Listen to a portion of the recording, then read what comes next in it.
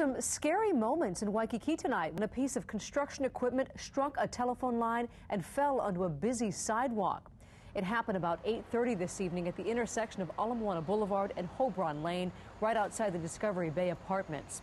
Police say this boom truck was being transported on a trailer when it clipped a telephone line, snapping it and bringing it down. And we've got to look at what the snap utility line looked like after it was struck and on the sidewalk. Pedestrians scattered for cover when the line went down. I was just going out to ABC store to get a soda pop, and everything just came crumbling down real quick. Uh, we're lucky that nobody got really hurt. Some minor scrapes looks like it is so far.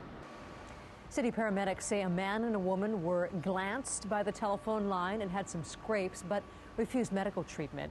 The construction crew that caused the down line was working on the state's improvements to Ala Boulevard when it happened.